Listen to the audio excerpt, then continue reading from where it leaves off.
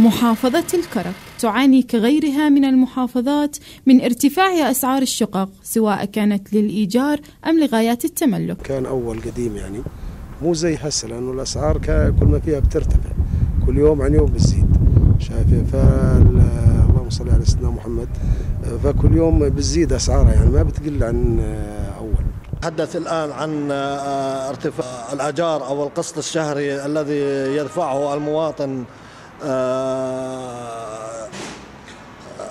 للشقق الموجودة بالكرك.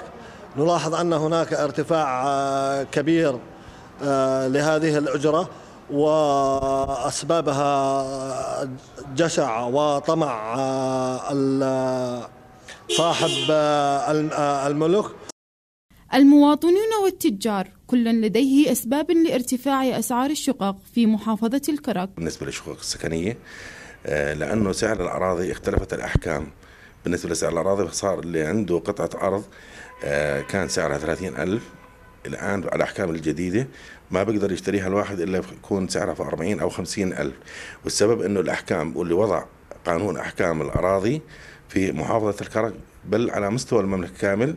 اللي وضع القانون هذا كان القانون جائر ارتفعت أسعار الأراضي. إذا ارتفاع أسعار الشقق في المحافظات خاصة الذي تعاني من ارتفاع نسب الفقر فيها جعل الكثيرين من المواطنين يتراجعون عن تملك شقة أو استئجار شقة بمساحات تناسب احتياجاتهم العائلية على أمل أن يتحسن ظروفهم المعيشية وأن تتخذ الحكومة إجراءات تساعدهم على ذلك.